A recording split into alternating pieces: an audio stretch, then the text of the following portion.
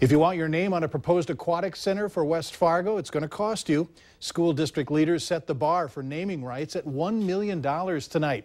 The $18.5 million facility is part of a much larger plan to take care of the district's needs, and getting big dollar donations would help.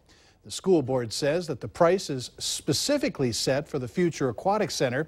Other buildings with the project won't have the same price tag. The overall proposal will be decided by voters in West Fargo on November 17th. It's a $98.1 million bond referendum that will pay for the aquatic facility, a two-sheet ice facility, two new elementary schools, a new transportation center, and a central kitchen.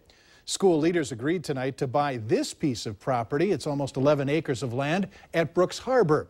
That's the site of a future elementary school for the West Fargo School District. The first